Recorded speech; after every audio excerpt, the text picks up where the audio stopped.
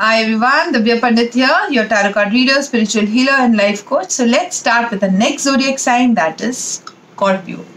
Okay, let's see what Scorpio has in March 2021. Let's see, Scorpio. hmm There's a lot of Scorpio energy where Scorpios are ending a lot of cycles at their work. I feel there is a pattern they've been following at work of maybe being unstable, may, maybe being up and down, which they are ending. Okay. And what I see is ending also is coming with a lot of people around them where they have stopped tolerating nonsense of other people. I'm saying this, I'm guided to say this. Their work absolute clarity, new beginning, new start. Uh, they will be very clear in what they want in their workspace. The first week of March is getting them a lot of happy energies. It's a 10 of cups energies. You know, 10 of cups is basically everything. It's bonding, emotional happiness, having that happiness at work or maybe that opportunity that they wanted gives them. Scorpions are normally very happy when they get what they want so I feel the first week of March they will have that happiness of what exactly what I wanted. You know, that kind of an opportunity coming their way in the first week of March. The second week is getting them a lot of Empress energy, that is a Venus. Venus is rising for them, maybe. Uh, you know, there's a lot of um, abundance, money, luxury they will be treated very well. Maybe they will be put on a pedestal if you're a healer or a tarot card reader like me. There will be a lot of uh, empress kind of energy where there's a lot of abundance coming your way money. And this will come through a female let me tell you. So as much as you can try to pray to the goddess the divine feminine okay? Try to pray to her and try to create even if there is any block that will go away so second week is very good, abundance, money, luxury coming your way. The third week karma. So now third week karma is coming to you. So let me see.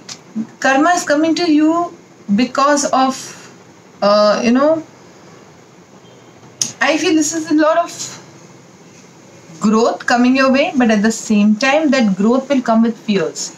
So third week, that balance in your family and your work is going to happen.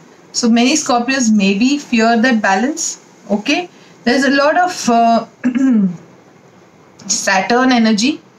Okay, now Saturn normally is not only bad, Saturn also gives you what you want.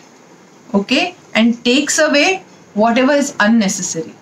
So I feel in the fourth week there is a lot of Saturn energy, maybe something will happen that at workspace money i'm talking about something will taken away and something will be given to you.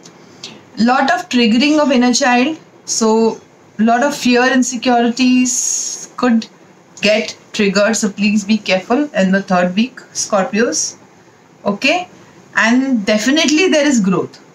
You're fearing to take that step to grow. That's what i feel. So just be confident. Just try to release your fears because growth is coming to you scorpios okay uh, there's a lot of uh, lot of egoic energy in the fourth week. Egoic in the sense of whatever you were fighting for up till now you're going to get in the fourth week of november uh, sorry march. You, you scorpios you're going to get it in the fourth week of march. But it is going to come with a little bit of guilt to you because you might feel that i shouldn't have been so harsh okay? So try to not hurt people around you in the bargain of achieving what you want. So somewhere that emotional side of you might come out.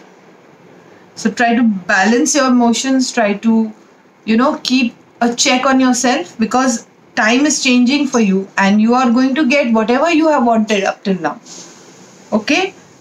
Remember not to get triggered with guilt sometimes in achieving a goal, we forget what is happening around us. So that thing might happen the fourth week for you, Scorpio. So take care. First week, very good. Second week, excellent. Third week, a little bit of fears. And fourth week, just keep a karma check. That's all. and let me see what we have in our relationship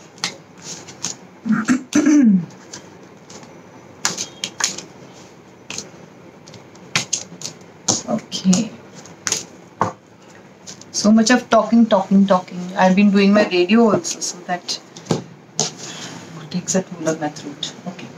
So let's see what we have in relationship for scorpios okay.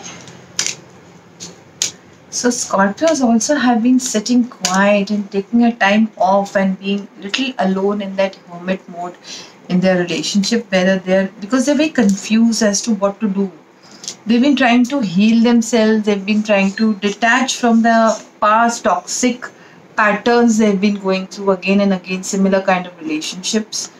Uh, they're healing right now okay?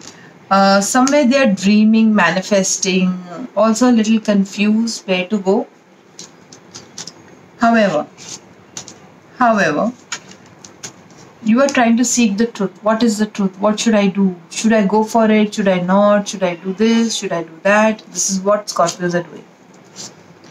However you are waiting that to take a decision in your life regarding your relationship.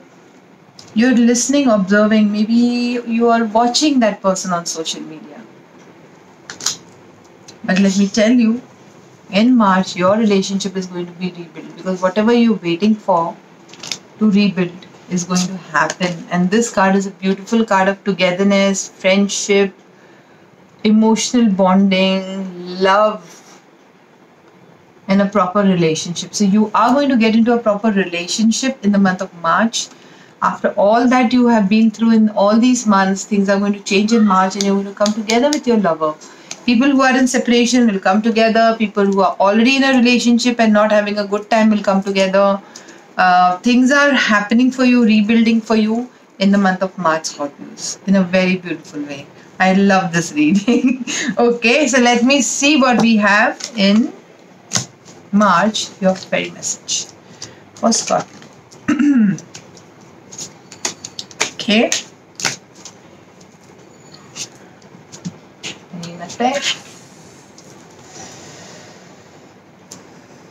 Be yourself.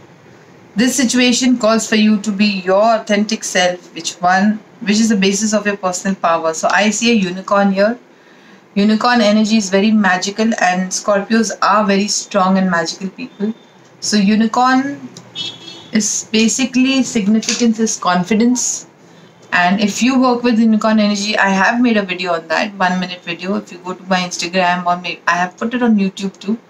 Unicorn gives you opalite connects with the unicorn. So use a lot of opalite to connect with unicorn energies. It will give you the confidence to move forward. It's all about confidence. Don't worry no fears. Okay? So that's all for today scorpio. Do not forget to subscribe to this channel.